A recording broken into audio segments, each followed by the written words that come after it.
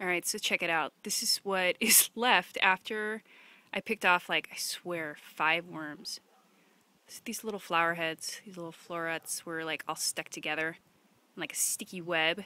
You can see kind of the residue there. It's kind of disgusting. This is Yeah, what is creating a little nest inside the leaves of my sedum autumn joy. This is actually a relatively small one. I've actually pulled out a couple large suckers and they're like all over my tree peony as well. But anyway, yeah, when you see your leaves all like closed up on one another and it looks like it's a little spider web, this is what's in them. I'm gonna have to check it out. I totally I forget what this is, but they are gone. So anyway, this would be the physical control step of integrative pest management.